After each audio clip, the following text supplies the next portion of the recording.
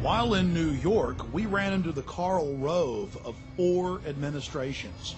David Gergen, top presidential advisor to Ford, Reagan, George Herbert Walker Bush, and Bill Clinton. We couldn't believe our luck. It just so happens that David Gergen is also a prominent member of the Bohemian Grove, the offshoot of Skull and Bones.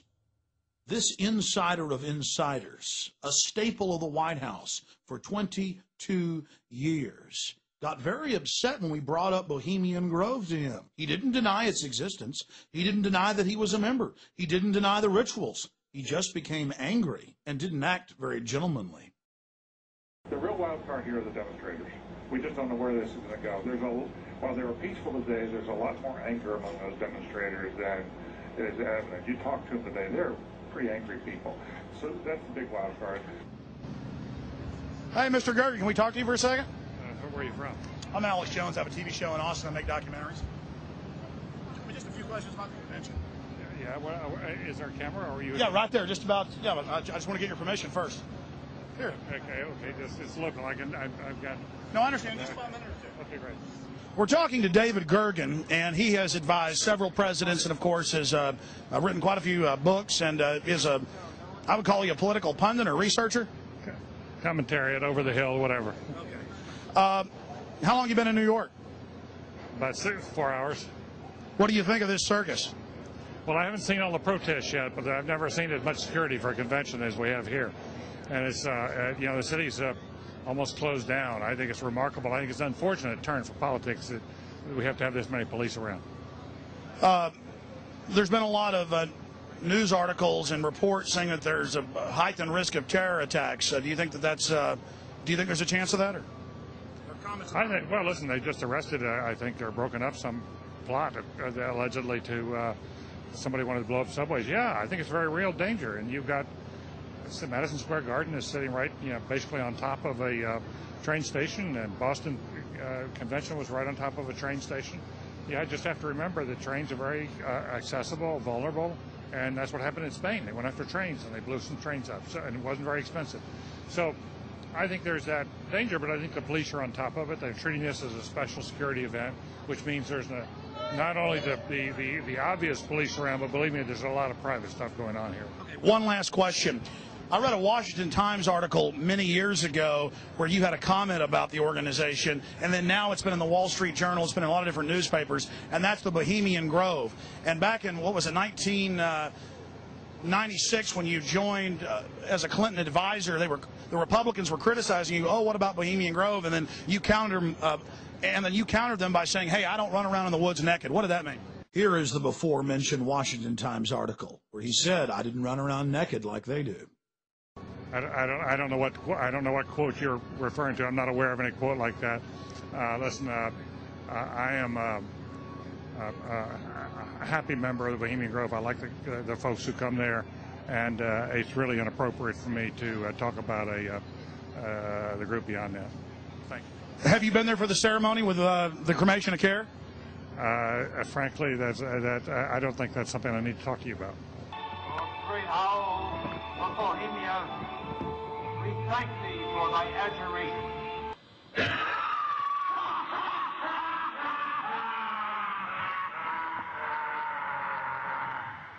Have you been there for the ceremony with uh, the cremation of care?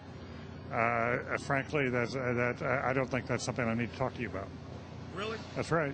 Well, I'm Alex Jones, and I snuck in there in 2000. I'm the guy that blew it wide open and got the video. It's been on national TV. Well, I disrespect you for that.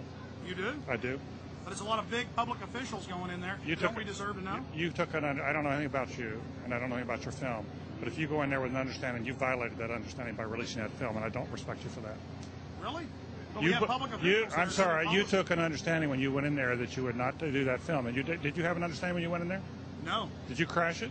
Yes. Yeah, and it has no trespassing signs there too, doesn't it? No, they put them yes, up after. Oh, I'm I sorry. I'm sorry, sir. I've been there before. I know what, I know what the circumstances are, and I'm sorry you uh, violated the understandings. That was not that was not a gentlemanly thing to do. But what about the ritual? Is the ritual gentlemanly?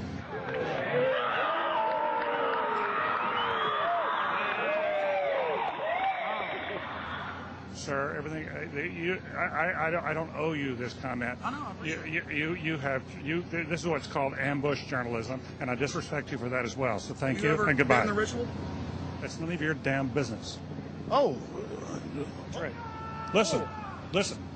You go around and, and make understandings with people and violate them. You, you ambush people on the streets, and that's that's inappropriate form of journalism. If you wish to practice that, that's fine, but don't ask others to respect you for it.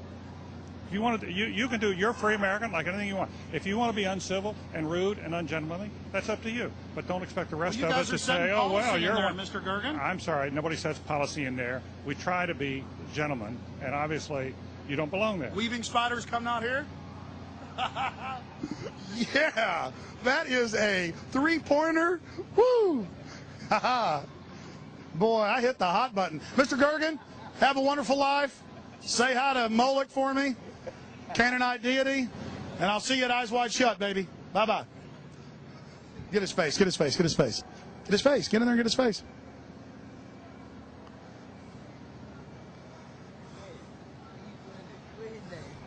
David Gergen. David Gergen says that we're angry? The real wild card here are the demonstrators. We just don't know where this is going to go. There's a while they were peaceful today. There's a lot more anger among those demonstrators than is evident. You talk to them today; they're pretty angry people. So that's the big wild card. Thank you, and goodbye. ritual? That's none of your damn business. It's none of your damn business. Oh, That's right. Listen, listen. Just look at him. That's a face keeping a lot of secrets. He's got some stories to tell. And remember that Washington Times article? It talked about all the other organizations that he resigned from. It mentions the Trilateral Commission, the Council on Foreign Relations, all of them groups dedicated to setting up a world government and destroying American sovereignty.